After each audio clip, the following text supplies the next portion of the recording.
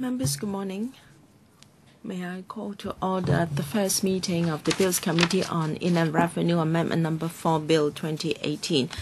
Uh, we have formed a quorum and this is also the appointed time. We will first elect a chairman for the Bills Committee.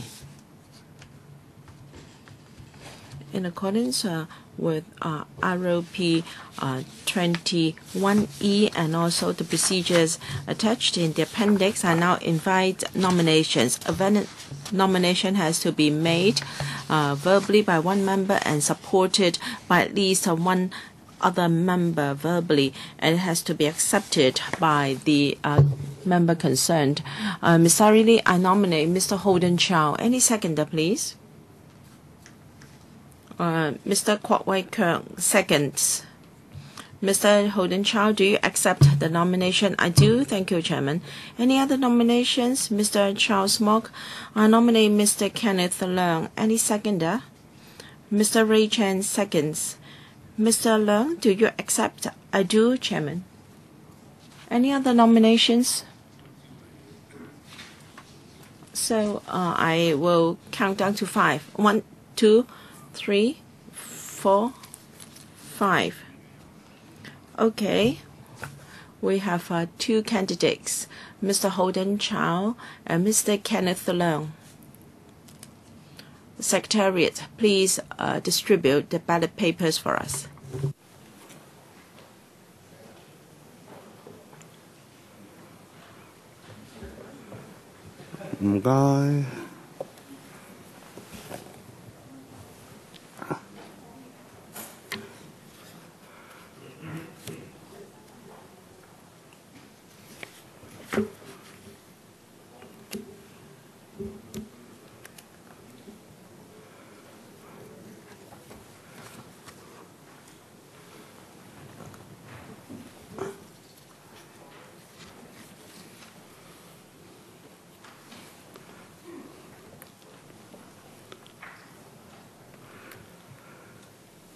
Okay. We'll proceed to a secret ballot. Our staff is handing out the ballot papers to you after you have fixed the job. Then the uh, secret ballot is closed, and we will not uh, distribute ballot papers anymore, and the ballot papers will be collected. Uh, members, please uh, put the ballot paper into the box by yourself. And before you have done so, please do not leave your seat. According to our House rules, each candidate would be assigned a number according to the order of uh, nomination. Uh, number one, Mr. Holden Chow, and number two, Mr. Kenneth Leung.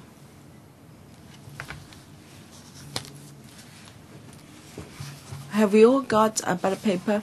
Uh, Dr. Helena Wong hasn't got a ballot paper yet. Oh, she has. She hasn't got the uh, chop. 好，大家。All right.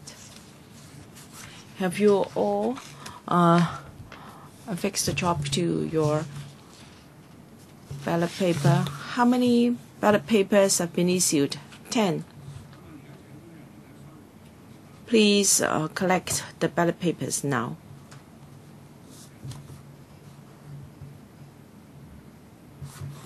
Members, please put the ballot paper into the box by yourself.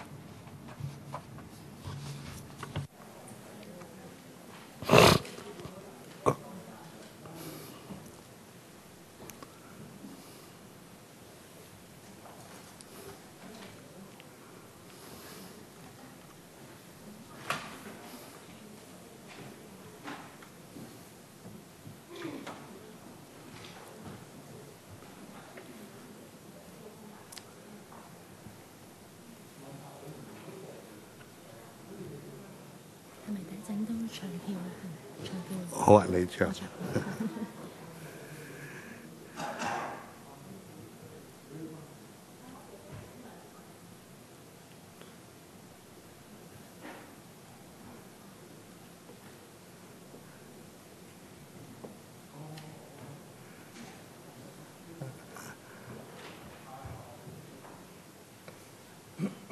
um, God be Please count the number of uh, ballot papers we've collected. We issued 10 and uh, 10 uh, have been returned. Can I invite the um, two uh, members who nominated the candidates, uh, Ms. Starry Lee and Mr. Charles Mok, to come out to monitor the counting of votes?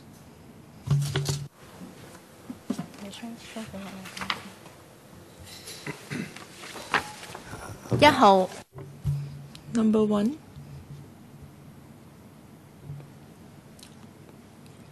Number one.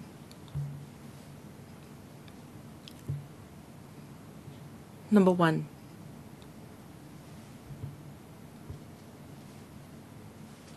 Number two.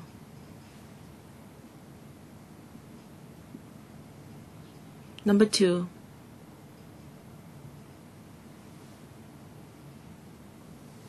Number two. Number one.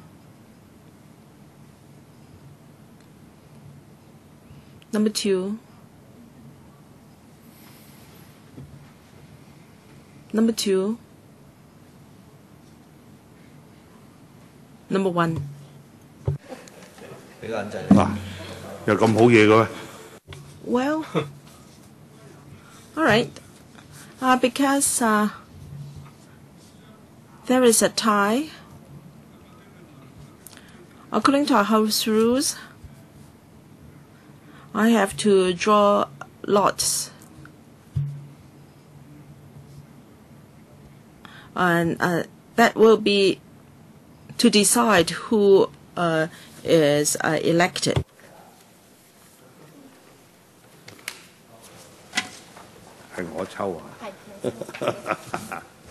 冇眼睇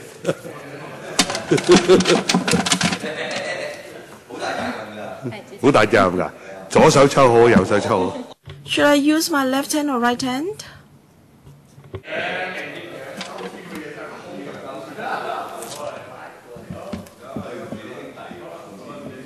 二号 Number two.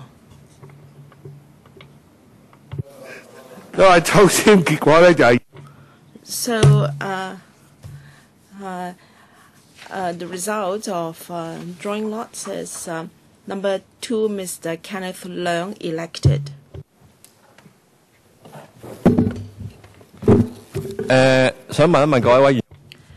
Members, do we need to elect a deputy chairman? Ms. Holden Chow? No, Ms. Starry Lee nominates Ms. Holden Chow, Mr. Charles Mok, uh, seconds, and Mr. Chow, do you accept? So I'll count to five, five, four, three, two, one. Any other nominations? No, then Mr. Holden Chow is the Deputy Chairman of the Bills Committee. Thank you.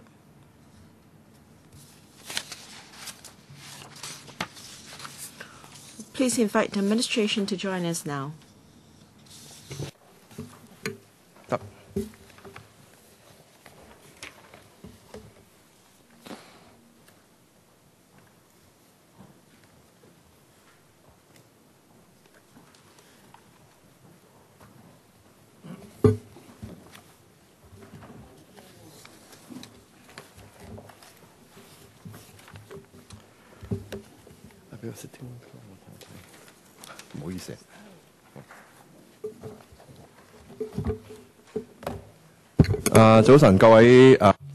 Good morning, government officials. Let me introduce officials are present today. We have um, Mr. Fong Ngai, Deputy Secretary for Food and Health, sitting on the uh, far left-hand side of uh, the row, and Mr. Billy Principal Assistant Secretary from the same bureau, then Mr. Derek Lee, Chief Research Scientist, Mr. Chiu Kwok-kit, Deputy Commissioner from the Inland Revenue Department. Next to him, uh, Ms. Wong Pui-ki, Senior Assessor from IRD. And then uh, um, at the back, we have Mr. Uh, Salvador Zhang, Government Counsel from DFJ. This is the first meeting of the Bills Committee on Inland Revenue Amendment Number 4 Bill 2015. Can I give the floor to Mr. Fong uh, to introduce the paper to us? Thank you. The purpose of voluntary health insurance scheme VHIS is to improve the quality of uh, individual indemnity hospital insurance products and uh, offers uh, consumers a more comprehensive quality choice of IHIP. To enhance the accessibility, quality, and transparency of IHIPs, consumers will have more confidence and certainty in making use of the insurance coverage to patronize private healthcare services. In the long term, we can alleviate the uh, pressure on the public healthcare sector. We also hope to encourage people to uh, purchase IHIPs at a younger age to benefit from continuous protection for lifetime. The um,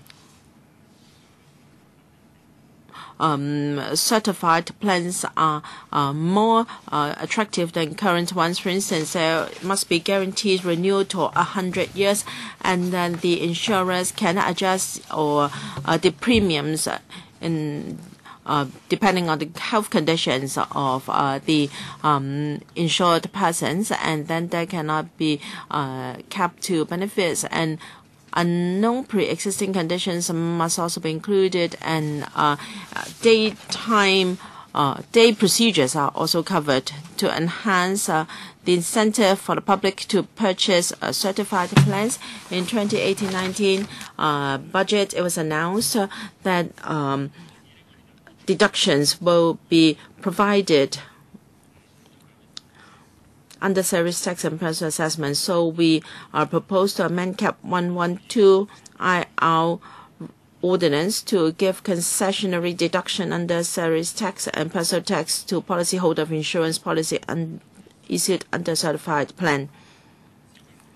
Uh, the policyholder during the year of assessment, uh, as the policyholder of the policy, the uh, taxpayer if he is either the taxable uh, taxpayer himself or a specified relative of, of uh, the uh, taxpayer, then uh, he can uh, receive a deduction um, subject to the cap of the quality premiums and subject to a cap of $8,000 to uh, make the arrangement more flexible and to benefit more taxpayers. Uh, there is no cap to uh, the number of specified relatives. A taxpayer can pay premiums uh, for his spouse, uh, children, and parents, siblings, etc. And there is also uh, no cap to the uh, number of policies uh, for one uh, person. So if together they do not exceed 8,000, then the cap of deduction is still $8,000. And we also have uh, this, uh, we do not have the cap on the number of uh, uh, policy uh, payer for um, the number of uh, of um, policy of uh, insured persons and for the definition of specified relatives, uh, they can include a spouse and uh, children, and also uh, parents, grandparents, and siblings of uh, the taxpayer or his spouse. So we are talking about uh, rather um, close relatives. They can all be covered. In principle, it is similar to the definition of dependent in our current IR ordinance. Now, uh, for husbands and wives, uh, the husband can also uh, apply for the deduction on behalf of his spouse. Uh, for instance, if uh, the wife has uh, taken out uh, insurance for her father uh, at a premium of $8,000, uh, her husband can apply for that deduction on her behalf. In principle, the insured person must be a Hong Kong ID card holder to ensure that the tax incentive is provided for people who have a nexus in Hong Kong. Lastly, I thank the public and also stakeholders in uh, including the Consumer Council and uh, professional bodies in the um, industry uh, for their support. And during the whole process, we have been consulting uh, different parties and made and then made adjustment to the scheme and proposals accordingly. Thank you. Thank you, Mr. Fong. We have Ms. Mak and also Mr. Wong Ting Kwong. A show of hands, please. Steady. Hands steady. Steady. Mr. Uh, Ms. Mak, uh, five minutes each. I think Mr. Fong knows what I'm going to ask. The uh, VHIS uh, was put up for consultation, and there was a high-risk pool proposed, but now the high-risk pool has been taken away just by uh, providing tax concessions. Uh, will that attract people to take out VHIS?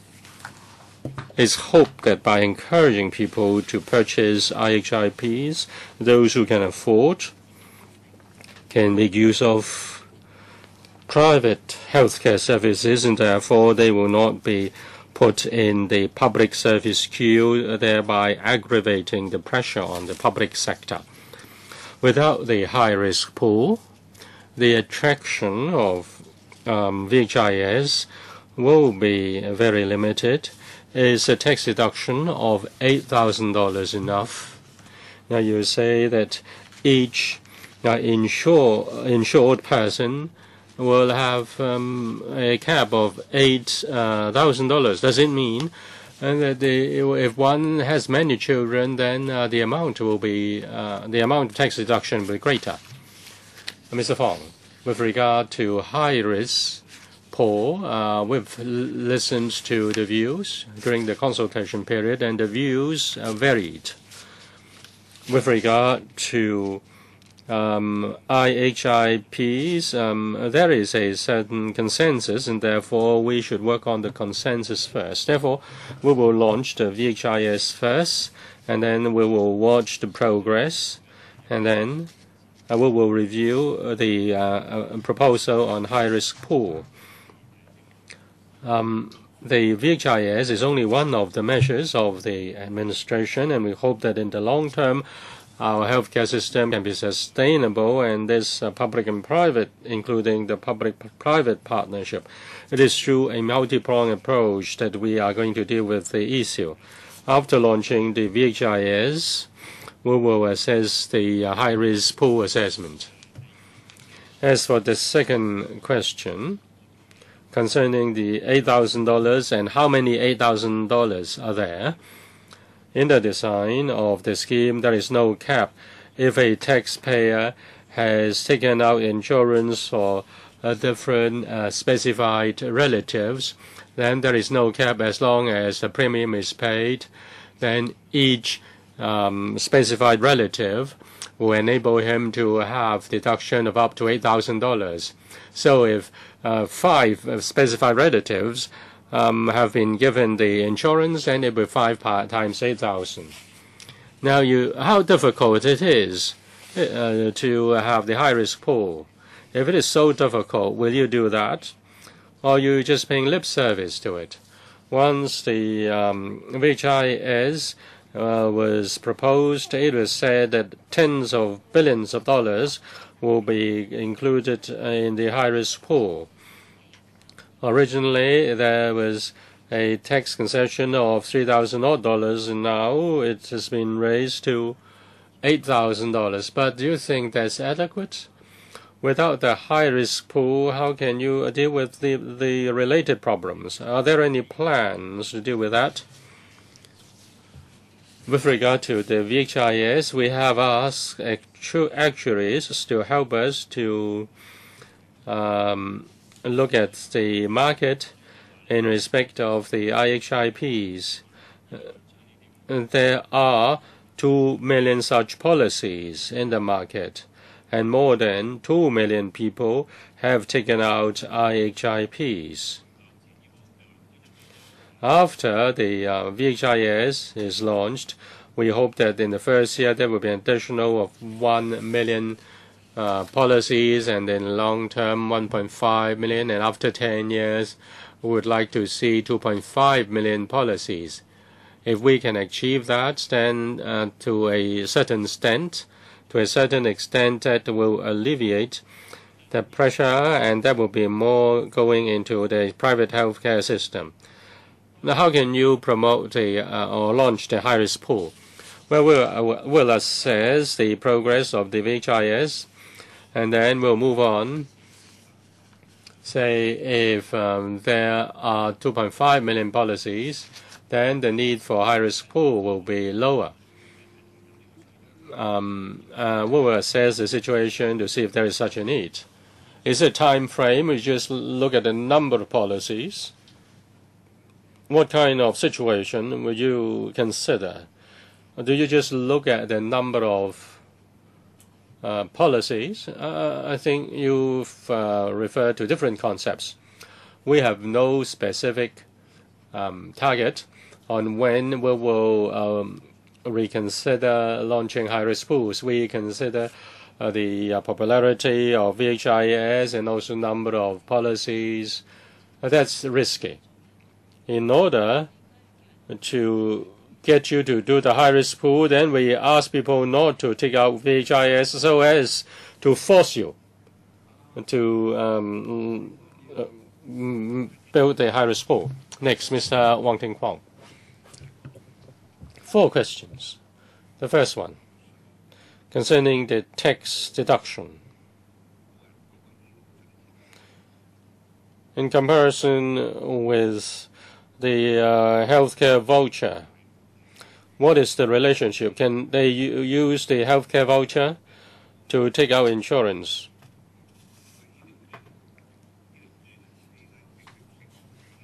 I refer to the healthcare voucher. That's the first question. The second question is 似乎个亲属个 specify relatives. Does it include um, the uh, daughter-in-law taking out insurance for the uh, father-in uh, father-in-law, mother-in-law, uh, so on and so forth? The third question. So does it include in-laws? That's the second question. The third question. If I take, don't take out insurance, but I take, uh, take out insurance for my relatives, then can the expenses be tax deductible, or must it um, must I take out insurance for myself as well as the precondition? Now the um, cap on tax deduction is eight thousand dollars there are different types of policies and the protection amount varies, and therefore the premium also varies. Say if the insurance cover I've taken um, requires a premium of less than eight thousand dollars, then will uh, the uh, tax deduction be up to the amount of premium and not more? Mr. Fong, um, the healthcare voucher cannot be used to take out VHIS. Healthcare voucher is only uh, suitable for the purchase of professional healthcare services. The second question is the affirmative. Um, the uh, say if the uh, daughter-in-law is a taxpayer, then the premium paid for the uh, father or mother-in-law is tax deductible or even if the um, daughter-in-law is not um, tax uh, is not working, and if the husband pay uh, works and pays salaries tax, then the um, husband can also claim the tax deduction as long as you take out insurance for a specified relative, then uh, the premium, the qualified premium one pays will be tax deductible. And fourthly, if uh, the premium is $7,000 and the tax deduction is $7,000. Mr. Wong, do you have further questions? No. My questions are simple and clear. Thank you. 嗱，诶，我有几个意见嘅啫。第一咧就系诶呢个计划当 Mr. Chow, uh, when the proposal was made, I uh, made a point uh, you know the operation of the insurance companies. The bigger the pool, uh, the better.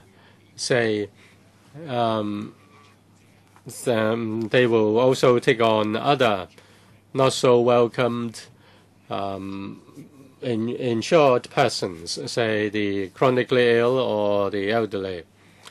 Now, they, they want to turn you down or they charge you a high premium usually. According to your proposal, you encourage people to take out insurance cover. Uh, the pool, the bigger everybody, if everybody buys insurance, then you can protect the high risk people and the elderly.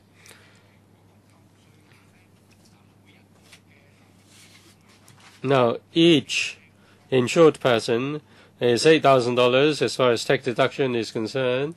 But if you take out uh, insurance for specified relatives and say four uh, specified relatives and four times 8,000 is 32,000. But the insurance premium of a young person and an elderly uh, is different. Now, can your tax deduction reflect this part? Say, uh, spouse, 4,000 dollars, eight thousand dollars for grandparents, and two thousand five hundred dollars for the child. Uh, can you have a higher deduction for paying a premium for the elderly? You want to encourage people to do that. And you take out insurance for an elderly, even if uh, it is accessible the premium will be high for an elderly person. Therefore, will you not give more incentive to reduce the burden on the taxpayer? And you should encourage uh, people to uh, buy insurance. And with a bigger pool, you can therefore cover the elderly and also the chronically ill. Mr. Fong, thank you for the question. It's a good question, certainly. When we uh, consider tax deductions, we want to give you an objective number. 8,000 is the average premium. If you look at the average premium of standard plan, then $8,000 will cover about 90% of the insured persons. What do you mean by that? What do you mean by standard plan? Uh, this is the uh, policy template. It is uh, vis-a-vis -vis, the flexi plan. Say from the standard plan, you add uh, wider coverage and a uh, greater amount of coverage. And um, we have um, the number, the, the amount of uh, room uh, ward fees and also fees for the anesthetics and, and also for doctor's visits. Um, the uh, the standard plan can meet these basic requirements.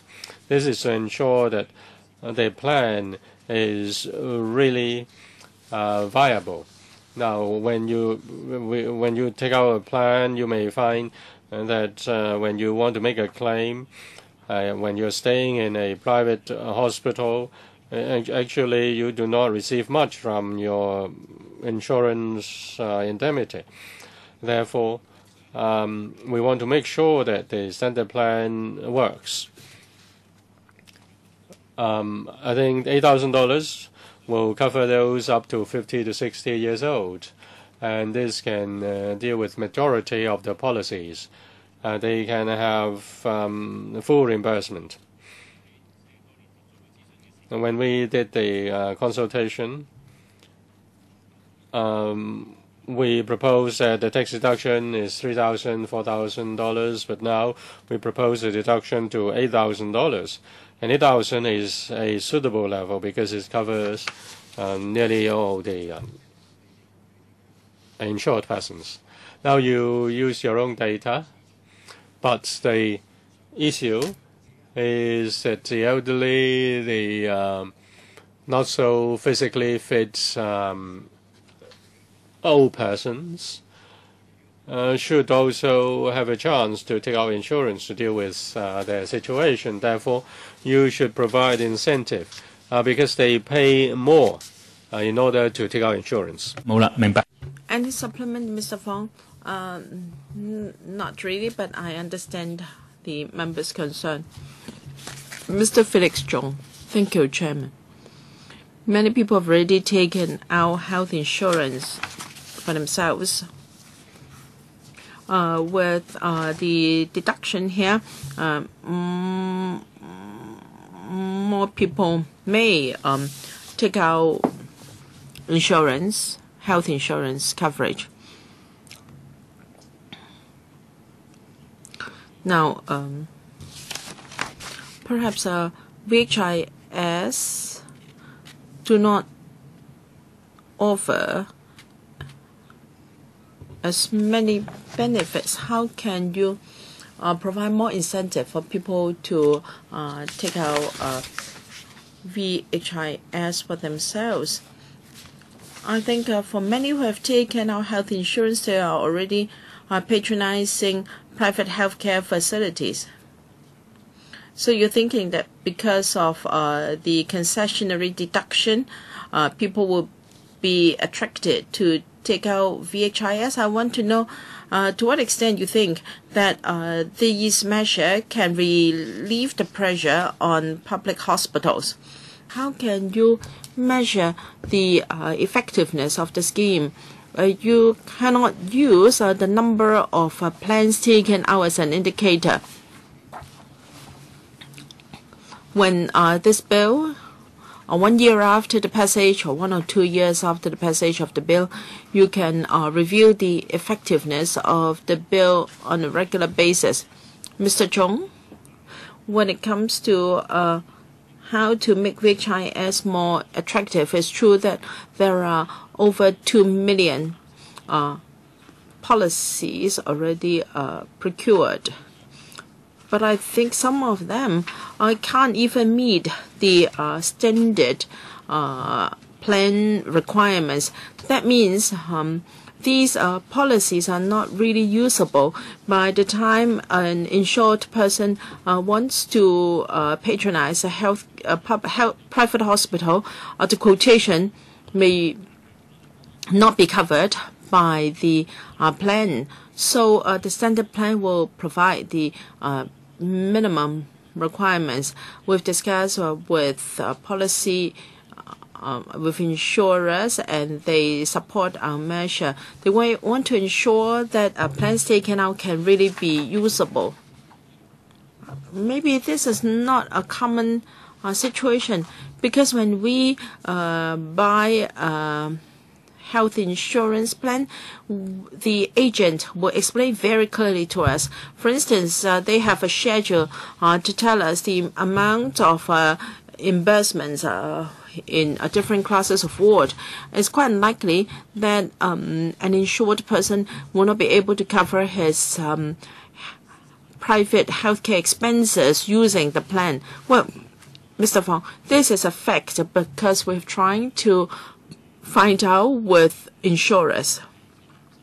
Uh, for instance, uh, for some, uh, the boarding is $450 uh, per night, whereas uh, you, we, as we all know, the minimum charge is now 700 And so uh, the other items that can be reimbursed are also relatively uh, low in amount. So we have uh, set the minimum requirements so that they can really uh, be useful when called to use. So we have the basic requirements, and we believe insurance companies will introduce flexi plans over and above uh, the basic level of protection. Uh, for instance, a higher uh, level of uh, room um, benefit uh, may uh, be um, taken, and also the um, premiums are qualified for tax deduction. Now we want to attract those in their 20s to take out VHIS and the average uh, premium will be $2,000 for a standard plan. Uh, there is room uh, for uh, the uh, insured person to take out a flexi plan because uh, the um, deductible amount is uh, $8,000. So this will be an incentive. We want to um, encourage the industry to um, to launch attractive plans, attractive products to help consumers. Mr. Ray Chan. Now, what is the definition of a specified relative? Under Cap 112 interpretation section, marriage means any marriage recognized by Hong Kong law or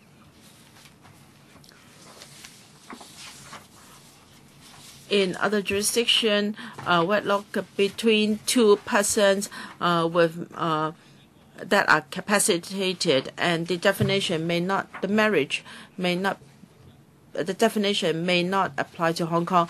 I'd like to know uh, for same-sex marriages um, made overseas, uh, will that uh, be eligible for the definition here. I thank the legal advisor for writing to the administration beforehand, and uh, the administration has already provided a reply. According, uh, the um, para 5 of uh, the um, definition uh, of a paper by the um, by the uh, commissioner, a marriage is uh, between a man and a wife, a man and a woman. I understand that uh, in this um, here, here uh, there same-sex marriages will not be covered. And then in the uh, case uh, for Secretary for the Civil Service and Commissioner of Inland Revenue, uh, the CIR's decision that a same-sex marriage was not a marriage was upheld by Mr. Justice Chow as correct as a matter of construction of Cap 112. However, his lordship pointed out that whether the equality provisions in the Basic Law or the Hong Kong Bill of Rights would require that were to be construed differently, or the relevant provisions in Cap 112 to be struck down or amended did not arise for determination in that case because the applicant same-sex partners, total tax liabilities, so on and so forth.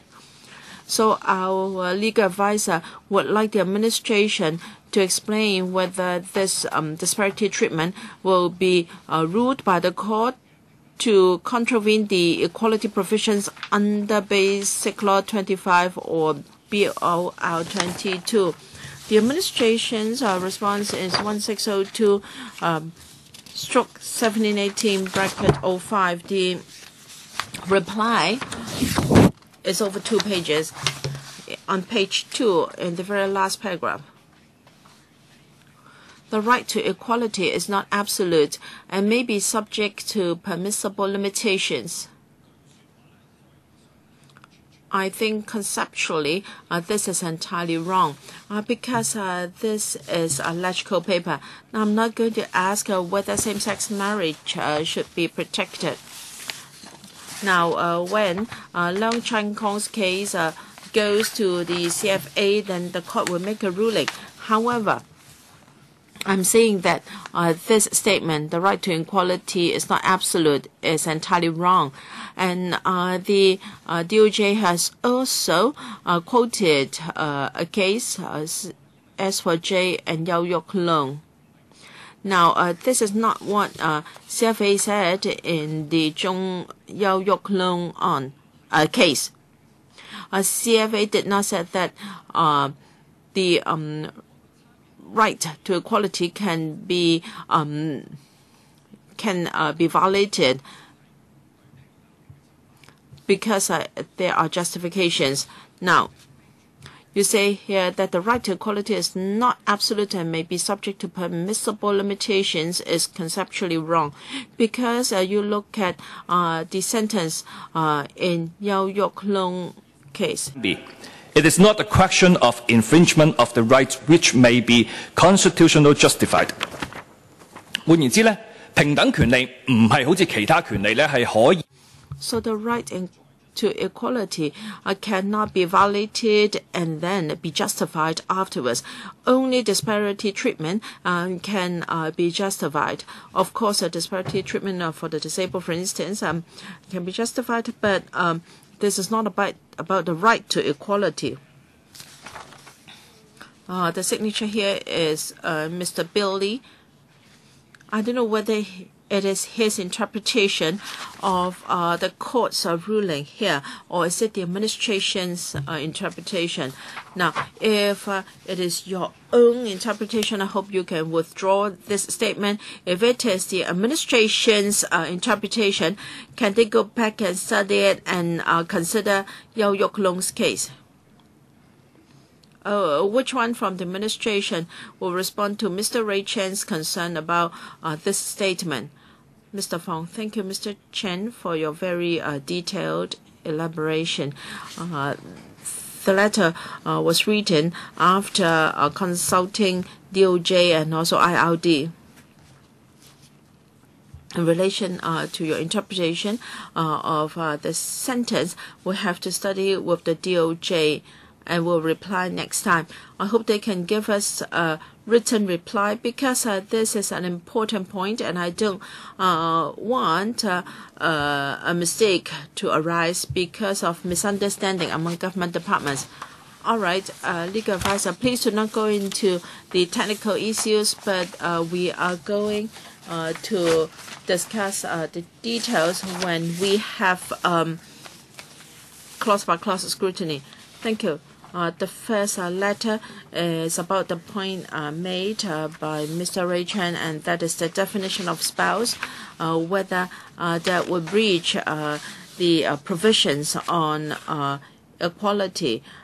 when I wrote the letter, the CFA had not, or rather, the appeal court had not um, delivered its judgment I was based on the ruling by the court of first instance. However, uh, ruling by the appeal court was uh, out last week.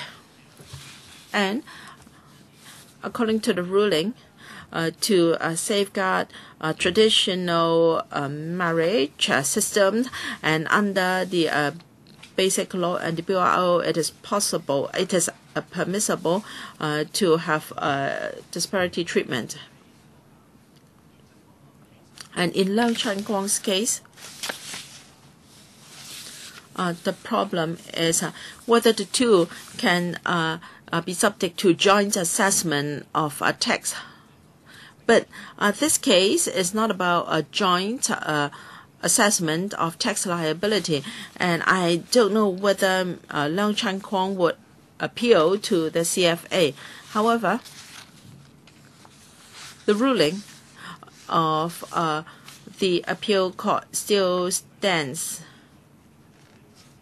then uh, you can't say that it's problematic uh, not to allow same-sex marriages to be uh, eligible under this bill. And then the second question is about the definition of adopted siblings. Because according to the administration, uh, adopted sibling means adopted child of the parent. But uh, what about the uh, natural uh, children of uh, the parents? Now, what there are two families. They both have adopted and natural children.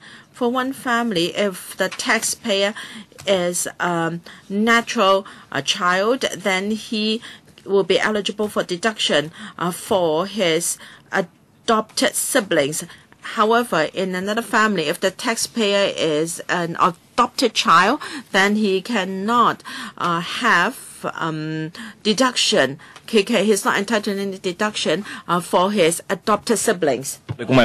A quick point. The legal advisor said something. I thought the administration might have some confusion. I agree that discriminated a difference in treatment, uh, difference in uh, treatment can be justified. But my question is whether right to equality is not absolute and may be subject to permissible limitations. Y- Yes, I think the administration knows your point. Uh, Ms. Helena Wong. I have a question concerning the definition or spec- of specified relative. Uh, paragraph 10 of your paper um, refers to taxpayers, uh, spouses, uh, grandparents, parents. So uh, both parents and grandparents of taxpayers are included. Yes, you're correct. Yes, then uh, my next question is this. Now, uh, this amendment is about tax deduction under salaries tax and um, income tax. The um, medical insurance taken out by companies for their employees um, will um, um, the uh, premium will be uh, will that be deductible? Uh, let me tell you, Miss Wong, in terms of the profits tax, the uh, premium paid uh, for employees are um, regular or ordinary expenses and can be deductible. But this um, provision is in respect of um, personal income tax or salaries tax. I just hope that the administration will clarify that. Now, if a company takes out uh, insurance for the employees, can uh, can the um, company uh, claim tax, deduction? The employees, of course, cannot. But what about the top-up bit? Say in the uh, insurance taken out by uh, his or her company, he uh, tops up a bit of that policy. Can that part, the top-up paid by the employee, uh, be tax deductible by the um, in respect of the taxpayers um, or the employees' uh, tax liability. Uh, now, if they have a top up, or the employee has a top up, which falls within the definition of VHIS, as long as the VHIS is a certified plan, then um, it's tax deductible. Now, uh, part of the premium is paid by the company or the employer, and then the top up part is paid by the employee. When the employee applies for tax deduction, it is only pertaining to the top up bit of the premium. Correct, Mr. Uh, he cannot claim the premium paid by the employer. Uh, but can the employer also uh, claim tax deduction for the premium paid for the employees? Let me explain uh, this uh, with regard to Ms. Wong's question. This bill is in respect of the salaries taxpayers and also taxpayers who opt for personal assessment. They are individuals. The premium of VHIS is tax deductible if this law is passed.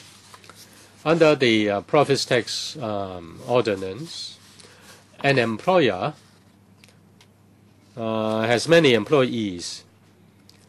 The employer provides benefits uh, to their employee to their employees, and therefore uh, such um, payments are tax deductible. So if an insurance policy is taken out on behalf of the employee, then uh, the premium is tax deductible as far as profits tax is concerned. Is the ratio or proportion the same um, as the uh, VHIS uh, proposed here? Um, in terms of profits tax, with regard to tax premium, there is no cap on tax deduction because the premium is to be paid to an insurance company If the insurance premium is paid as a kind of benefit for employees, then it is operational expenses and is tax deductible. I just want to ask for the uh, percentage of deduction. 噶嘛，系咪啊？副局长， I think they are different. Are they?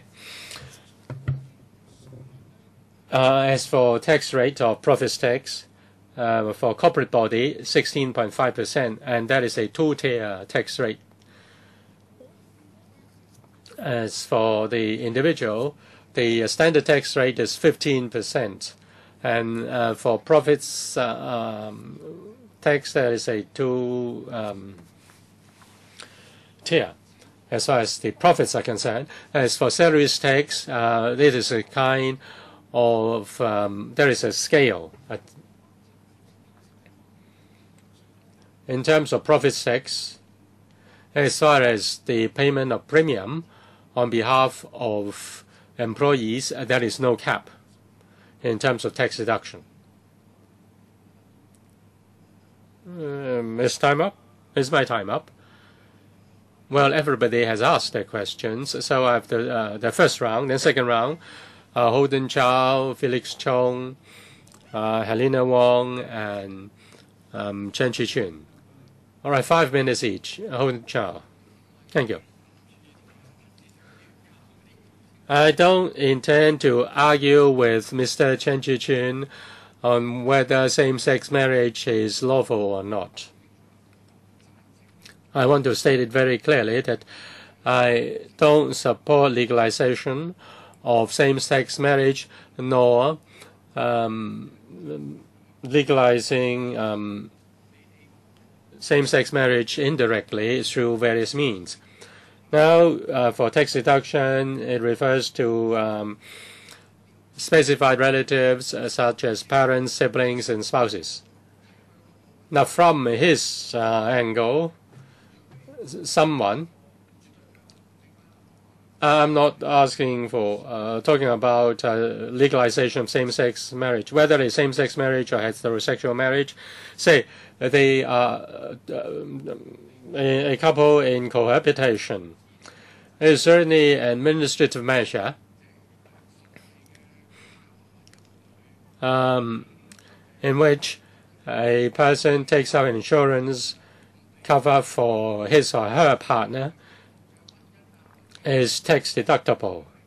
It is not a recognition of um, a certain relationship, but if they can show that it is cohabitation, whether same sex or not, as long as there is the cohabitation relationship, and if one wants to take an insurance cover for one's partner, then will that um, premium be tax deductible, and if, uh, can that be um, covered?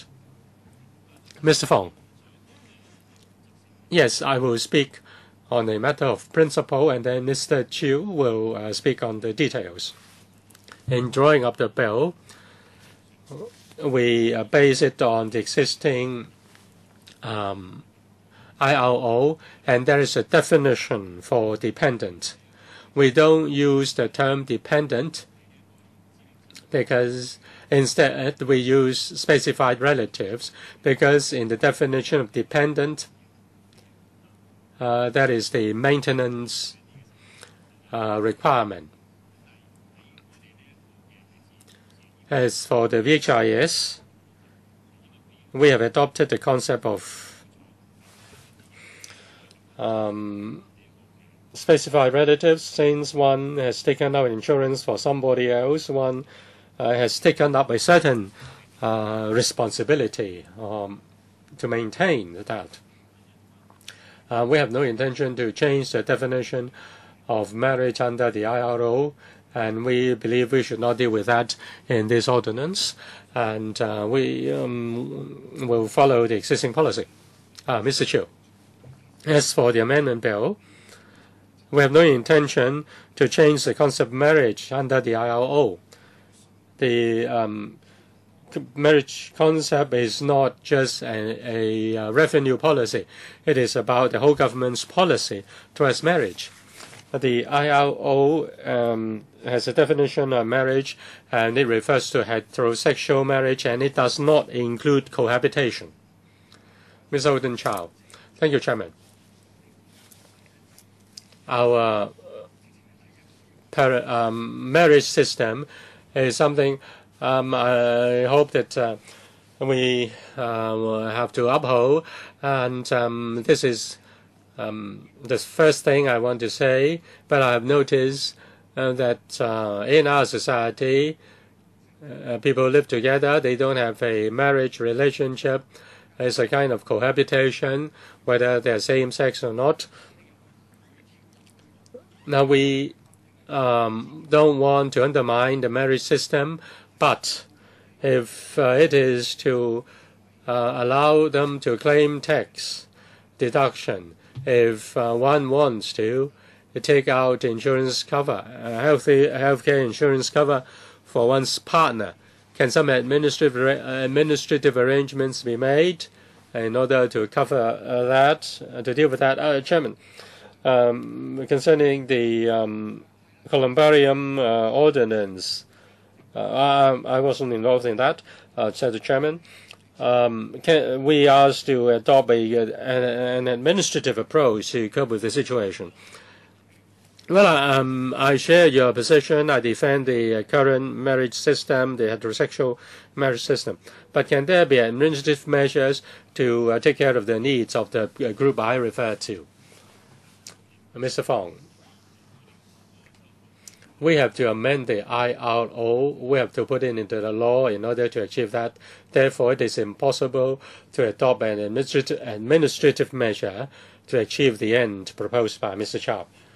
Mr. Chiu, as explained by Mr. Fong, the IRO amendment, the, uh, the amendment is to not to change the interpretation marriage in Hong Kong laws, and administrative measure is not a suitable approach to solve the problem. The approach adopted by the IRO has not taken that into account. Next, Mr. Felix Chung. Uh, thank you, Chairman. Now, that is uh, the uh, uh term uh, qualified premium and also um, a um, term in respect of risk um, the uh, premium, the imbalance between risk and premium. Now, when the um, insurance companies launch their policies, I believe there is a certain consensus between the government and the insurance companies. Now, it said that um, consultation can be made uh, to the um, um, health insurance office or VHIS office. Can further elaboration be made on this? Now they said that um, not well um, everything is done through the uh, IRD and also um, Section 36 is dealt with by uh, the IRD and also the uh, number four, now the amendment number four bill is handled by the IRD. Do you have uh, enough manpower to cope with all these inquiries? Thank you, Chairman, and thank you, Mr. Chung. With regard to paragraph 13, qualified premiums not commensurate with the risk profile, this is to deal with the abuse situation. Say, for example, in a standard plan, if a person is in her 20s and takes out the plan, then the premium is about $2,000. But if the policy uh, shows that the premium is $6,000, then we have to look into this situation to see if there is any abuse. And the office, VHIS office, will conduct an investigation into that to see if whether the uh, premium is uh, what should be the um, reasonable premium level for a policy of that coverage. But I think that is not, um, there aren't too many such cases. And we've asked the uh, insurance companies to disclose their premiums in respect of different age groups. And then we'll put this on our website. Um, in the future, they may raise their premiums to, um, to a great extent. Uh, we cannot rule that out, but we want to make sure that there is such a provision so that we can conduct an investigation into that if the uh, premium is unreasonably high. The next question is on uh, manpower. Uh, are you going to approve VHIS policies?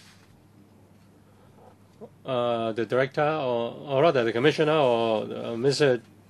Fong's bureau, with regard to VHIS, uh, the colleagues of Mr. Fan, Mr. Fong, uh, will um, uh, deal with that. Now, after the law is passed, when a taxpayer claims tax deduction under VHIS, then he or she will have provide uh, the relevant policy number. It is unique.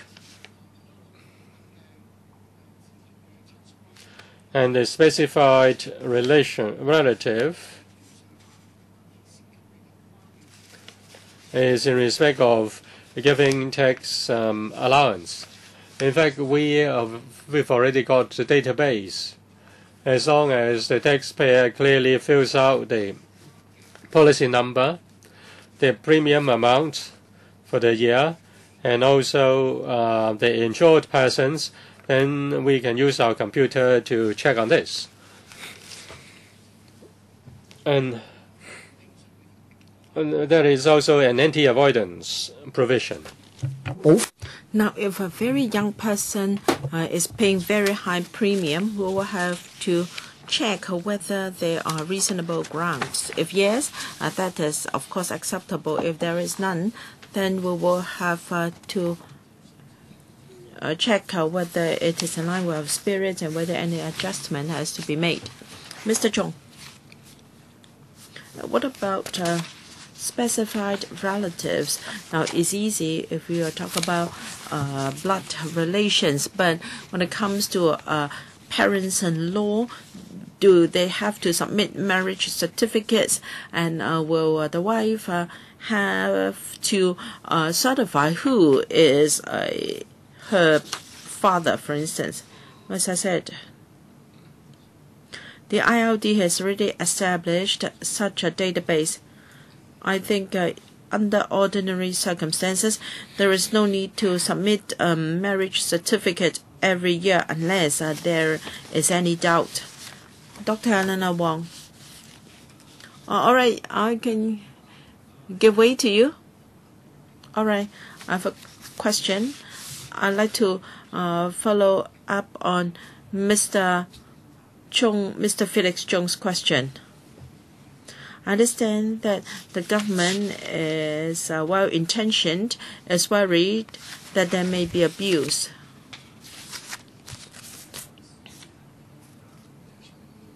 And uh, uh, the um, an agent uh, may uh, then um, lure the uh, insured the policyholder to buy a more valuable plan. However, it says here that the commissioner may determine whether the qualifying premiums are commensurate with the risk profile of the insured person. But to do so, he has to uh, consult the VHIS office. So at the end of the day, it is Mr. Fong's office who does the assessment, not the commissioner of uh, for inland revenue. Otherwise, uh, the commissioner will uh, be very busy. So you have to make it clear here that it is not for the commissioner for inland revenue to determine. It's in fact the VHIS office who is conversant with the market and products. So may because uh, the VHIS office will see uh, whether the uh, premiums are reasonable or not.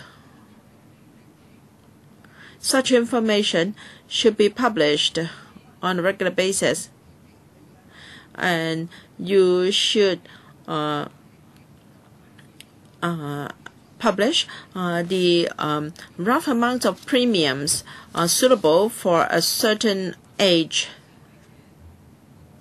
to ensure that consumers will not be shortchanged.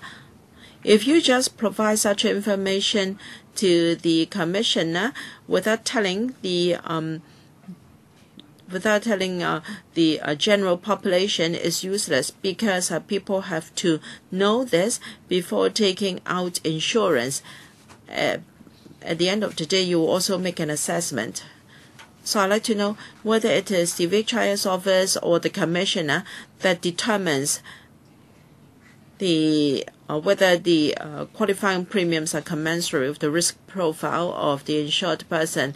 And if it is the office, you may as well make it clear in the bill. And secondly, how would the public be informed of uh, the reasonable qualifying premiums to be charged? First, let me elaborate on the role of the commissioner, and I uh, leave the question on transparency to Mr. Fong. Now, uh, this is about uh, qualifying premiums not commensurate with the risk profile. It is an anti-avoidance provision to uh, prevent people from abusing this arrangement. The final determination is uh, through an appeals mechanism under the IR ordinance. For instance, if uh, the commissioner is of the view that the uh, qualifying premium should be 5,000, whereas the taxpayer is of the view that it should be 8,000. So uh, the taxpayer may want to lodge an appeal to the appeals board and uh, the um, next uh, channel of appeal is the court. I understand that there will further be further information on uh, qualifying premiums published on the website of uh, Mr. Fong's bureau. Yes, as I said, all insurance companies that join the VHIS should uh, give us information on the scope of protection and the premiums for different age brackets for uh, their qualifying plans to be published on their website. And as uh, the Deputy Commissioner said, uh, this provision is an anti-avoidance uh, position.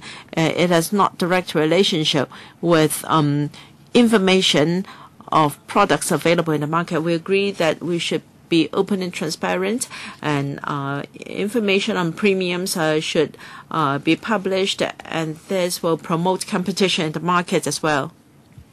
Well, when it comes to transparency of information, you are saying that all approved premiums should be put on the website. But what is meant by a risk assessment and whether the premiums are commensurate with the risk profile. You have to let the public know the benchmark. It's not about uh, whether products, uh, product information is uploaded to the website. You have uh, to conduct a review, right?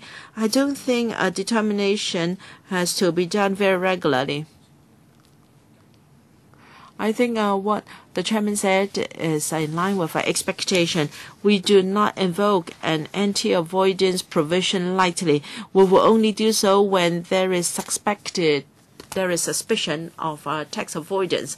And how do we um, decide whether there is any abuse? Usually, uh, technically, we have a comparability analysis. For instance, I take a sample of 10 insured persons. Now, if uh, their age and uh, health conditions are comparable, so um, uh, most uh, insurance companies are charging uh, this amount of premium. How come for this taxpayer the uh, premium is so high? And then uh, this is a case uh, for concern. Mr. Richard, in fact, I've raised my hand after the first round. Oh, I apologize. I am asking a question on a matter of policy. Why is it? Why is the allowable deduction only applicable to a taxpayer or his specified relative.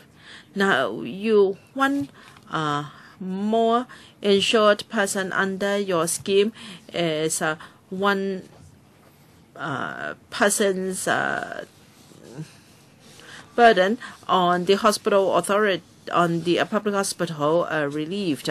What if I take out a policy for a colleague of the council? I welcome that, but then I won't be eligible for any deduction. Now, what if I uh, take out a health insurance for my good friend or whoever? Well, uh, for instance, he's reluctant to uh, buy uh, health insurance for himself. I will uh, give him one year coverage as a gift uh, to encourage him to renew the policy afterwards. Isn't it good if we have um, more uh, members who have taken out VHIS?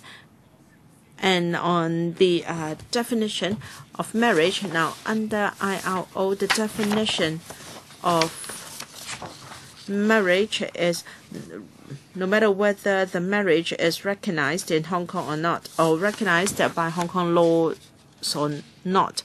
Now, I'd like to know uh, what marriages would that be included. In some places, there may be um, multi-spousal systems, poly, uh, polygamy.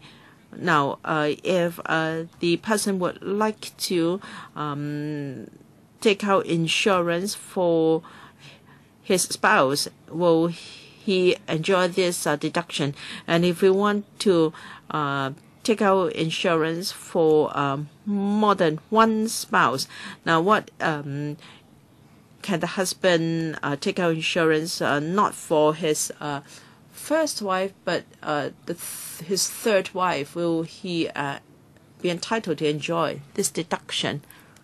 Deputy Commissioner, I think Mr. Ray Chan's question is um, at a macro perspective.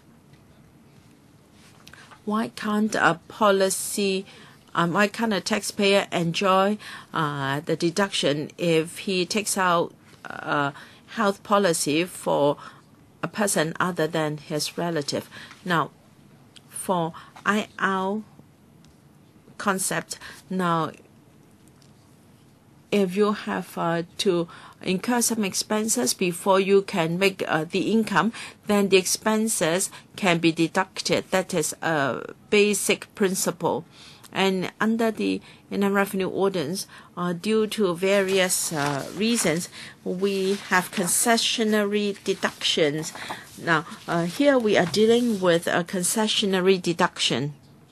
Strictly speaking, such expenses are not directly related to your um, making of income.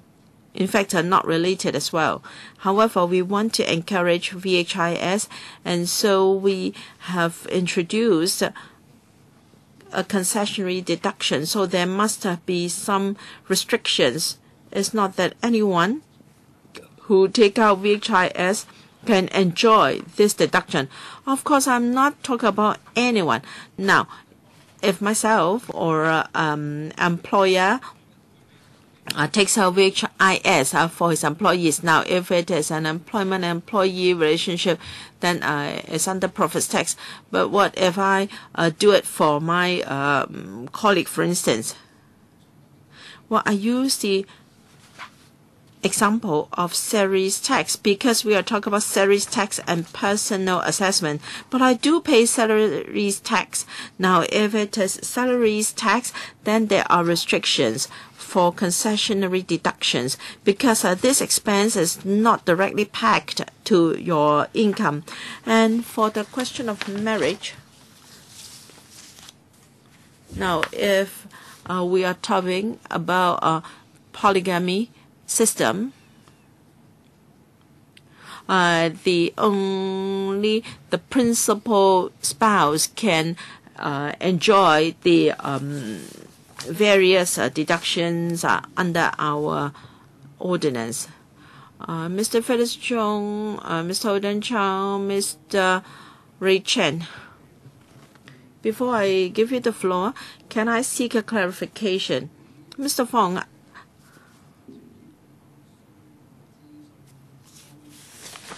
Can you uh, briefly tell us uh, the um, public consultation done on the proposals and also the outcome, so we can decide whether we need to carry out any public hearing here.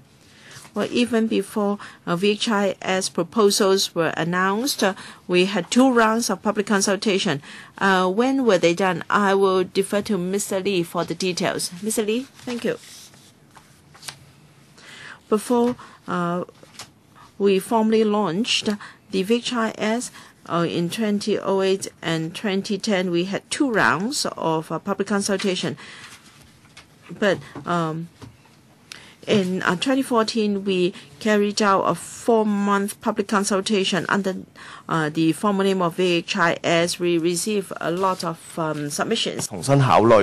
After going through all the proposals and ideas and reviewing government policy in 2017, uh, we announced our uh, VHIS proposals, and then we discussed with different stakeholders, including the insurance industry, the healthcare sector, uh, patients groups, consumer groups. There was full discussion and consultation. In March this year, we announced the government's uh, two documents. Um, first, the uh, standard policy template, and secondly, the uh, code of practice for insurance companies. And in the budget, the FS announced that there would be tax deduction. Uh, the secretary, uh, Financial Secretary announced that it would be up to $8,000. After many rounds of public consultation and discussion, uh, this is the time we put the consensus into the amendment bill and submit the bill to the scrutiny of this council. Members can see that there has been adequate consultation among the uh, stakeholders, and also we have uh, fully discussed the matter at the relevant panels. Do members feel that there is a need to conduct a public hearing?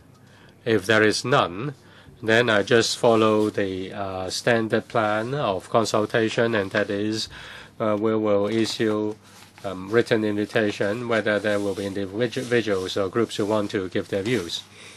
As for a public hearing, um, when the report was launched, it was January 2017. I think a year and a half has elapsed, and the groups that have been consulted concerning these groups, have they uh, got any chance to study this bill? Mr. Fong, Um, uh, we met with the insurance industry representatives yesterday and explained to them the provisions. In fact, they were informed of the um, provisions of the amendment bill um, quite a long time ago. We've also consulted the Consumer Council and also the healthcare groups, the medical groups. There is a year or so Uh, uh, because uh, there have been um, meetings with the various groups and stakeholders, and we have about 8 to 10 meetings with the various groups, and they welcome that. Some even said so to the newspapers. Dr. Chan Pui-yin has raised his hand. I will give him some time.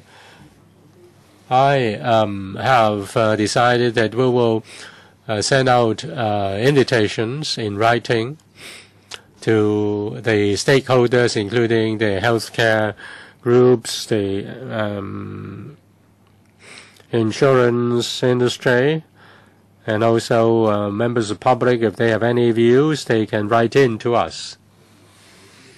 And since members do not have Uh, uh, any suggestion, we are not going to conduct a public hearing on the IRO uh, amendment number four bill.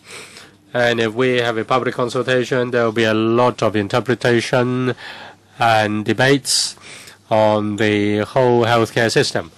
I give the floor to Dr. Chan. You have five minutes. your first round. Uh, para 9 of paper 1602 1718 uh, says that the administration wants to encourage young people to take out insurance um, policy. Um, uh, that's very important. The um, insurance uh, scheme should uh, try to attract as many young persons as possible. Now, recently there was a um, survey by uh, an internet uh, recruitment uh, internet uh, web page. the average um, salary of a university graduate, fresh graduate, is about $15,000. And after taking away um, expenses on traveling and food and also uh, on repayment of loans, how much money uh, is left to take out insurance. Now, if they take out uh, insurance, the um, tax deduction is just $1,350. How can you uh, convince us that this is very attractive to young persons who so that they will take out an insurance policy which they cannot be made good use of within the uh, near future. Now, thank you for the question, Dr. Chan. Uh, under the standard plan, the average premium, if it is for uh, a person 20 to 24, the annual uh, premium is $2,400 or $200 per month. And if he pays tax, then that is a bit of tax deduction. So it's just uh, $200 per month. We believe that uh, the amount is affordable. I think uh, the emphasis is not whether it is um, it's not about the amount of money to be paid, but it's about the attitude.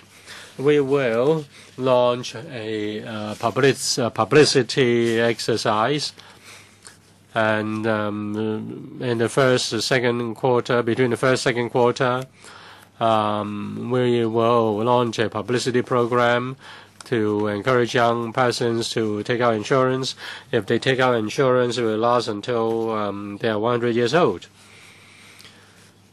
As for premium and tax deduction, um, is there any mechanism to adjust that? Is there a mechanism? And if there is, then how? Mr. Fong, as for tax deduction amount, we of course will uh, review that according to the uh, IRO. Uh, there is no um, specific uh, time requirement for reviewing the amount of allowances or tax deductions, but we'll do it uh, regularly uh, the commissioner.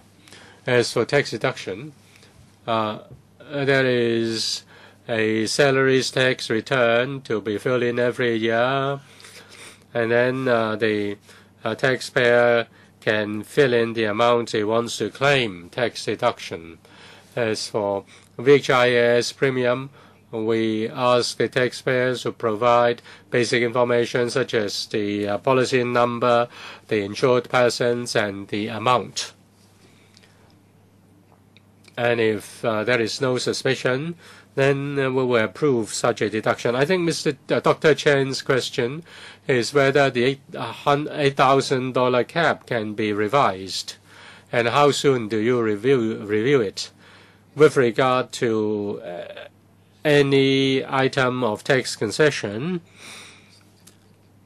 the uh, IRD is able to collect um, relevant data, and the data will be provided to the relevant policy bureaus um, for uh, consideration. I want to ask the policy bureau then, is there a mechanism to adjust uh, the um, amount of deduction? Is there any mechanism for you to check whether the um, amount is reasonable or not? Chairman, uh, we have to consider the situation after the scheme has been launched for some time. We have to consider the popularity of the scheme, the responses of the people, whether there are comments for further improvement. Um, tax um, deduction is just one thing. The scope of the policy, uh, the insurance amount, um, amount of insurance, um, are also um, other factors we have to consider. At the present stage, it's not um, easy for me to specify uh, the time for review. Um, we still have Felix Chung, Alina Cha, uh, Helena Wong, Felix, um, uh, Felix first.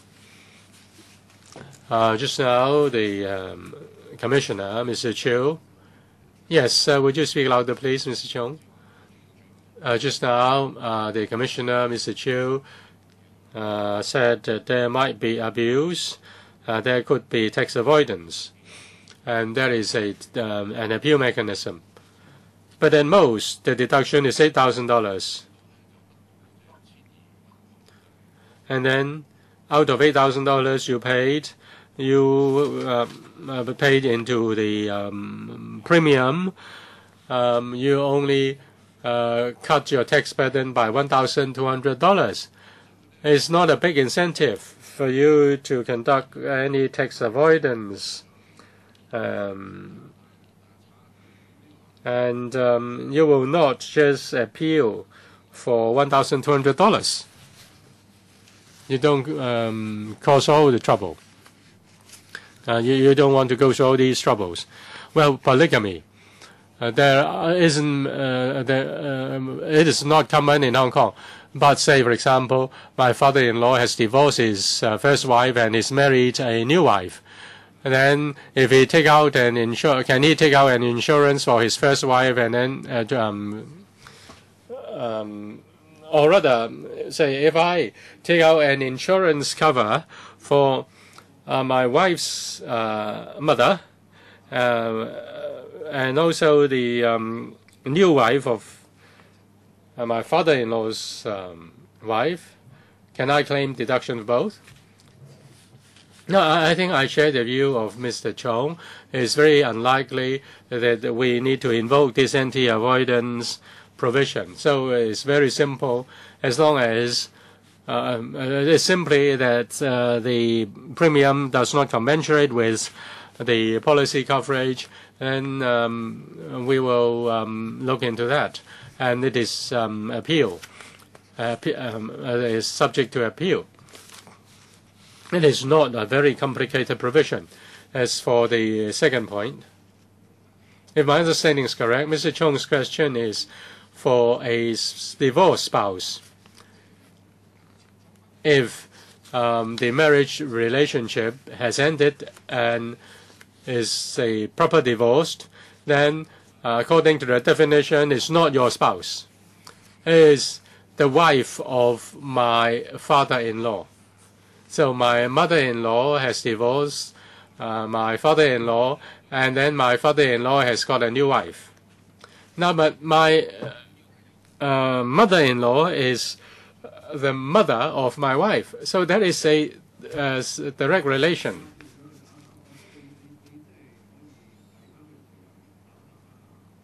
Um, the um, uh, secretary, would you uh, answer Mr. Chong's question? natural 啊嘛，我見到啊。好多多謝主席嗱。如 Thank you, Chairman. If my understanding is correct, now under the uh, IRO, your natural parent is your parent. My question is, at the beginning, uh, it was said that uh, in-laws, if I take out uh, insurance premium for my in-laws, uh, that's tax deductible. Is that that's correct? So uh, I claim tax deduction for the policy for my um, father-in-law and mother-in-law. Now, now, but uh, they uh, they have a divorced. Uh, the divorced mother-in-law is the natural mother of my wife, but I have two mother-in-laws. One is the new, one new, one old. Uh, Can I take out insurance for both? The uh, W section concerning uh, parents. Do you refer uh, to natural parents and adopted parents? um, your your uh, parents may have divorced several times or a dozen times. So how, how can you uh, deal with that situation? Thank you. If I uh, understand Mr. Chong's question directly, now my you're talking about uh, the case of your parents and laws. Now you can take out insurance for both, and you can enjoy tax deduction. Now, if uh, your parents-in-law uh, have uh, divorced, uh, then uh, the first wife uh, has is a natural mother of your spouse, so she can continue to enjoy that deduction. And then uh, your father-in-law uh, marry remarries, and then there is a new mother-in-law who is a a step step parent, okay, then you can also take out insurance uh, for this step mother-in-law. And so to put it simply, both uh, can enjoy the deduction. So it's clear. Mr. Holden Chow. I think I have uh, to go back to the basics. The purpose of uh, VHIS is because of uh, the very heavy burden on our public hospitals. The administration wants to uh, uh, to uh, lessen the pressure on public healthcare system when people turn to private healthcare services by taking out VHIS. But the fact is, uh, those are young and healthy well, many of them have already taken out insurance in the market if they're already using private healthcare services.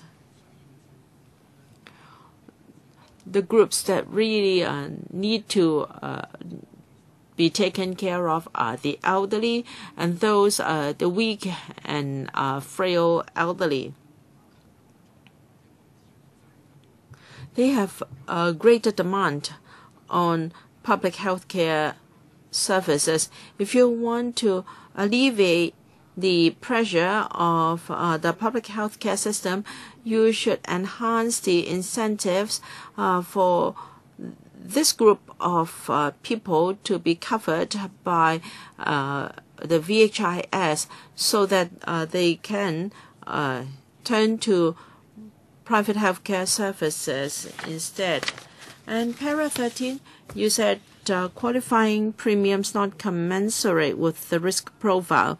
You see this as an anti-avoidance provision. Now, if uh, qualifying premiums are not commensurate with the risk profile, for some insurance companies, for uh, some elderly persons, they deliberately uh, make the premiums very high. And if the elderly person is of poor health, then uh, the insurance company would even abuse the system by charging very high premium. How can you ensure that by means of the mechanism outlined in 13, para 13, you can control the premiums charged by insurance companies and to ensure that uh, the uh, weak and old can uh, take out VHIS so that you can really address the problem. I'd like to know your mechanism to tackle this problem. 多谢主席。诶、诶，多谢议员嗰个关注。不过我 I thank uh, Mr. Chang for your concern. And let me reiterate that the mechanism point out, pointed out in para 13 has got nothing to do with uh, risks you mentioned. This is entirely an anti-avoidance provision. This has got nothing to do with the level of premiums charged in the market.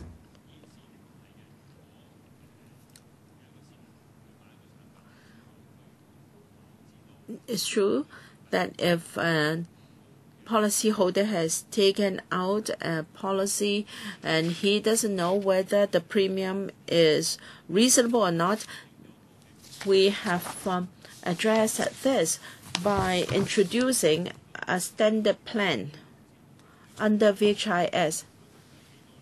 So uh, the premiums charged by an insurance company under the standard plan will be published. You're going to publish information on uh, various insurance products on your website. Will that just cover the standard plan?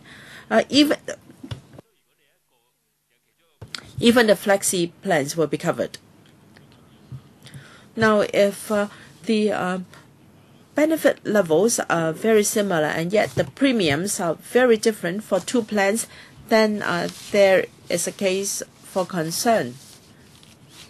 With uh, required insurance companies to provide a standard plan. We've provided a template for them.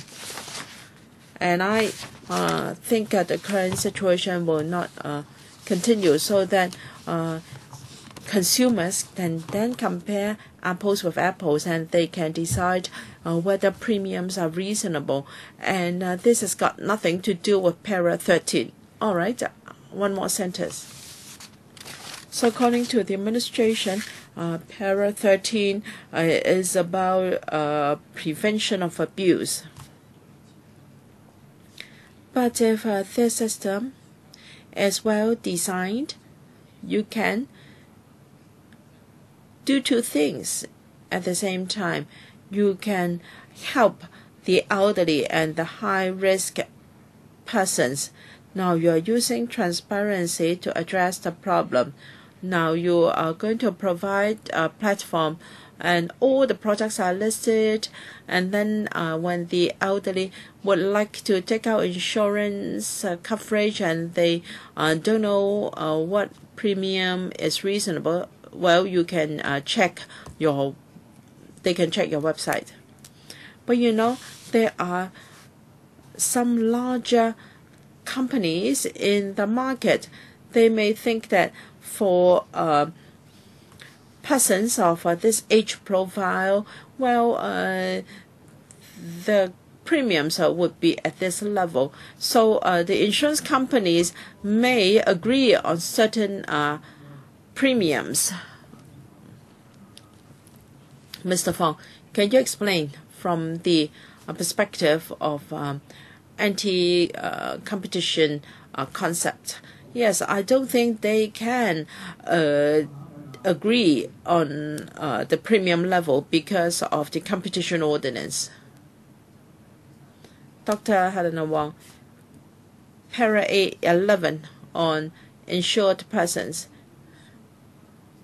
It says here that uh, an insured person or his or her parent should be a Hong Kong identity card holder. Does it have to be an Hong Kong permanent resident ID card because we have many uh, cross-boundary marriages in Hong Kong. What about uh, the uh, spouses and children in in in uh, cross-boundary marriages? If they are not permanent residents of Hong Kong, are they eligible under this scheme? They first uh, have to become a permanent resident first? So even though they have not lived here for seven years yet, but uh, if he or she doesn't apply for a Hong Kong ID card, he cannot uh, be eligible under the scheme. Is that correct? Now, if the person applies for a Hong Kong uh, ID card, then uh, when uh, he or she is given one, then uh, she'll uh, be eligible. But uh, if uh, the child is under 11 years old, then he doesn't need to have an ID card so long as his either of his parents is um, Hong Kong permanent residents, then he'll be eligible. All right. in relation to footnote 7. A grandparent or parent, why should there be an age threshold? Why should it be 55 years old?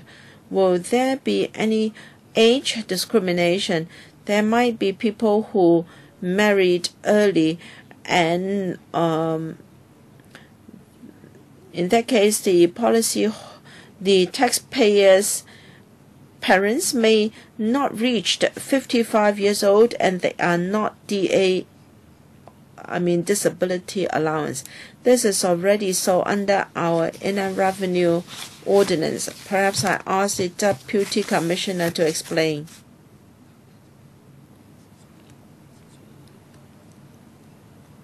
We have uh, an allowance for a dependent uh, parents or grandparents. The uh, age, there are two age thresholds, 55 and 60, and the two are subject to different deductions. As I said, these are concessionary deductions. It is not directly related to your earning of an income, so it's concessionary in nature, and therefore we can put in restrictions. Age restriction is one of uh, the restrictions, but this is uh, logically confusing. I don't care whether it is concessionary or not. Why should you put an age ceiling for parents or grandparents? Now, uh, if uh, the child was born uh, before uh, the uh, parents uh, were 16, then it was a criminal offense. But why should you put in age floor, an age floor here? The policy should be to encourage people to um, raise a family as early as possible. But of course, if you financially cannot afford it, uh, the earlier you raise a family, the more problems you have. Now, take a university graduate. Uh, he can be 21 or 23 years old at most, and two years after graduation, uh, you get married and uh, raise a child. So the earliest uh, age for a person to become a parent can be calculated. You don't have uh, to uh, wait till it is 55. Please uh, use uh, the concept of uh, dependent parent or grandparent and not from the perspective of uh, population policy. Yes, we should look at it in this way. Now, this is uh, we are talking about tax deduction, meaning that uh, the uh, taxpayer has to take out insurance coverage for his parents. And if uh, the person is over 55, it is quite likely that he is still a taxpayer. He may even be paying more tax than his children, and he may uh, be able to enjoy more deduction. And for a taxpayer, who is the child of the family, he will uh, have uh, to have a certain level of income uh, before he uh, can uh, be eligible for the deduction. And we think 55 is quite appropriate. A person who, a new graduate, is only making about 50, less than $15,000 a month, whereas a person who is uh, 55 years old may be making more than a new graduate. Deputy Commissioner. Now, for concessionary deduction uh, for dependent grandparent or parent, we are talking about a taxpayer supporting a retired grandparent or parent. Uh, that is a, a, a grandparent or parent is already retired and he has to be supported financially by his uh, child or grandchild. So, uh, if we set it at 55, it is actually um, to the advantage of taxpayers. Mr. Ray Chan, I'd like to uh, follow up on the point I raised just now. Now, you may say that traditionally we have constraints, but we want to encourage uh, people to uh, join VHIS. Maybe you can't do it this time, but can you review the scope of um, eligible persons? Now, even for parents, uh, there will there is an age requirement. Now, from VHIS point of view, from this policy's point of view, we want uh, more people to take out VHIS. Now, because of uh, this deduction, you um, provide an incentive for people to take out VHIS. From uh, the uh, policy's perspective, this is uh, desirable. So, can you relax the um, restrictions in the future? Thank you. When VHIS is introduced, we will review the um, uh, the uh, situation in the light of uh, operation, and then uh, we will see whether that can be considered. I still have time for you to have another round of questions. Helena Wong, Holden Chow, Felix Chung. Okay. Five minutes each, but please do not overrun. Um, Helena Wong, I want to follow up on my question asked earlier. It's expected that the retirement age is about 55, then you draw a line there. You cannot assume that all parents or grandparents have incomes. Say a housewife doesn't have any income. Now, after a child has graduated from university, has got a job, then uh, he can take out an insurance for his mother, who is just um, uh, who is a um, housewife who doesn't have any work. You cannot assume that all the parents are in the labor market. You cannot assume full employment. Mr. Fong, when we put in certain uh, restrictions, uh, it is is not able to avoid uh, this situation. I think you are not gender sensitive. On the contrary, say for example, the, the husband may be the homekeeper Now, say um, if one is um, below 55, say if a couple is below 55, at least one is working. It's quite common. And uh, we believe that 55, 55 is uh, rather appropriate. Most people are still working. Well, I refer to housewives, homemakers. Why homemakers below 55? Cannot be included in the category of parents or grandparents category. I refer to the full-time homemakers. Well, my response is the present design uh, is that if the husband is working, then he can take out insurance for his wife. But the uh, husband may not want to take out insurance for his wife. Instead, the child may want to take insurance for his or her mother.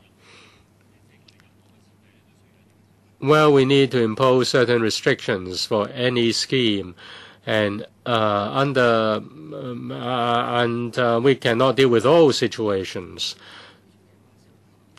I think when you launch the scheme, you shouldn't exclude a certain sector.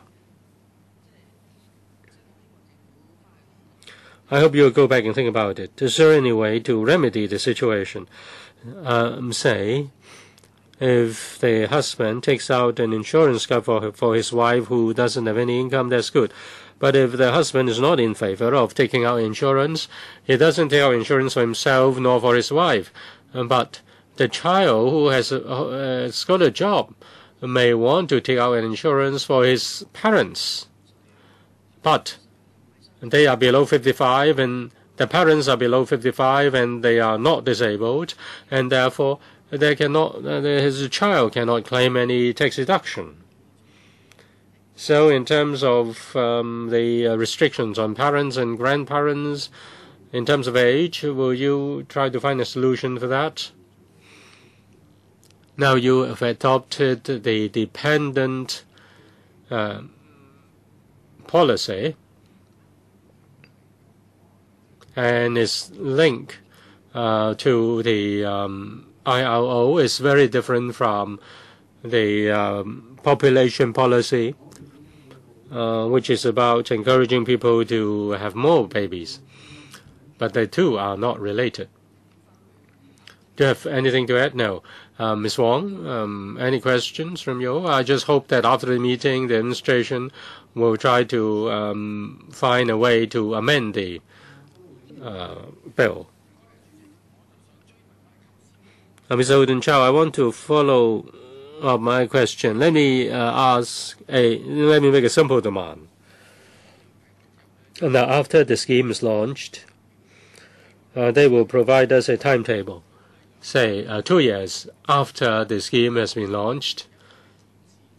Um, during the two years, you review the situation of the elderly and also high-risk people, the chronically ill, and whether they, um, there is a substantial rise in the number of uh, such people uh, being accepted into the VHIS. I hope that with the launch of the VHIS, more such people will be included. And that will facilitate your improvement to the scheme. The more the um, insured persons in the scheme, the um, greater the chance for their high-risk groups to be accepted into the scheme or their premium uh, will be uh, reduced. Say, for example, you set it at uh, two years or three years, and then you conduct a review as to whether the elderly or the high-risk people have um, more uh, have taken out premium um, insurance. More of them are accepted, and their premiums have uh, gone down with a bigger pool, uh, you can effectively uh, include the high risk and people and the elderly people. I hope that whether you have such a timetable, whether there is such a mechanism. Mr. Fong. Well, in fact, we are discussing with the insurance uh, sector on what data we can obtain from them after the launching of the VHIS and we will consider whether that's also possible within the mechanism, uh, as suggested by Mr. Chow. That also involves uh, the health situation of the insured persons and the related information. We, we may not, uh, it may not be very easy to do that. Now we are still talking to the insurance sector. We want to do that if uh, we can. Um, but uh, we have to consider whether there are further complications, whether there is any problem with privacy or any uh, hurdle. We cannot give an undertaking at present. Well, I do not ask uh, for looking into any particular case in your communication with insurance in uh, policy, uh, insurance industry, you need to have um, some data. And only when you have such data, you can uh, better promote your scheme. You don't do it just one or two years. It is an ongoing scheme. You have to consider how many people will be benefited, how many people will be excluded, and how can you improve your incentive. We say at the start, $8,000. Uh, we really hope that it can be higher if you want to provide a better incentive to get people to take out um, VHIS. And that will protect more elderly people if the pool becomes bigger. Mr. Fong. Well, the suggestion, Mr. Chow, is going in the same direction as our thinking, and we will certainly uh, keep an eye on the situation. Next, Mr. Felix Chung. Now, in Annex B, uh, Para 6, uh, market competition. The Bureau will be mindful of the effect that VHIS may not may have on the market to avoid any unintended restriction on competition, so on and so forth. Yeah, is there any example in respect of your worries? What do you worry about? Well, I hope uh, to extend the meeting for no more than 15 minutes. Mr. Fong. Thank you, Chairman. On this point, any new policy or new amendment uh, has to be considered from the um, competition angle. We are to introduce a we are going to introduce some basic requirements. All products will have to achieve certain basic requirements. We'll make sure that in doing so, we will not restrict competition. We've introduced transparency as well so that all the information of the uh, products um, made known, made known to the public. The increase in transparency will help to encourage competition and the public will have better grasp of information available. Uh, this is to enhance competition. Uh, that's the point there. Well, it is just uh, a kind of fun.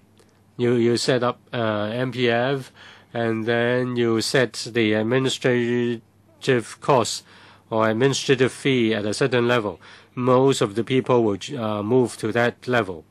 You set a standard, there's the standard, since the standard is there, then um, the difference between the uh, insurance products will be less and many people will move towards the basic plan or the standard plan.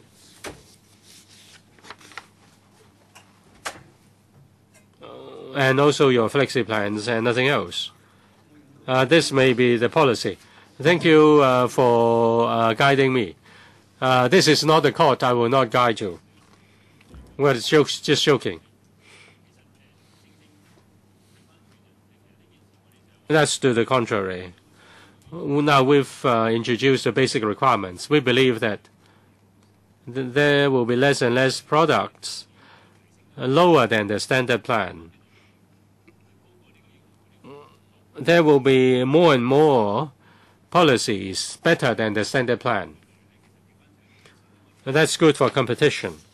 Uh, we just want to introduce the basic uh, requirements, and then there will be nothing lower than that. Mr. Chung, I have no further questions. Other members, do you have further questions? I have one. Well, I have not asked any question this morning concerning the uh, VHIS will existing policies be qualified and be included into the VHIS? Yes, there is. We ask all insurance companies participating in the VHIS to allow their clients to have at least one chance to opt in. But the products of the insurance companies may be as good as or even better than your VHIS. So is it possible to uh, include the existing products into the VHIS? Yes, they can. In fact, some insurance companies want to do that. Now, they may uh, say that uh, we are going to uh, renew your policy with fine-tuning so as to meet the VHIS. Uh, if you renew, then the new policy or the renewed policy is in line with the VHIS. Members, uh, let us uh, take a look at the legislative timetable. As we all know, we will uh, break up for the summer in mid-July. But while our memories uh, still fresh, I hope we can uh, meet again before the summer recess. And uh, so far, I've got the following uh, slots available. The 9th of July, 8.30. Uh, please uh, pencil in your diary, and I will, yes, 8.30 in the morning.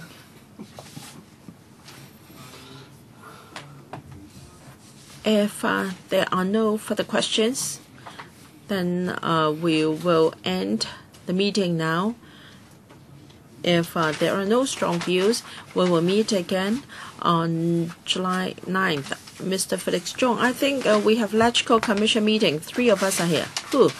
Uh, myself and uh, Mr. Charles Mok and Helena, Dr. Anna Wong and Ms. Alice Mak. Oh, you are all members of the electrical commission. I'll see if we can form a quorum. It's not necessary for uh, all members uh, to uh, be always present at our meetings. I will check again. Okay, thank you very much. Thank you for your reminder. Mr. Charles Mok. How come, how come so many electric, electrical commission members have joined this bills committee? It doesn't really matter if we have a quorum. I am uh, minded to proceed as scheduled. Well, it's not just a matter of uh, whether you have a quorum. We want to participate. Uh, half of the 10 members will be present. When do you uh, meet for the electrical commission? 9 a.m. All right, I'll check again.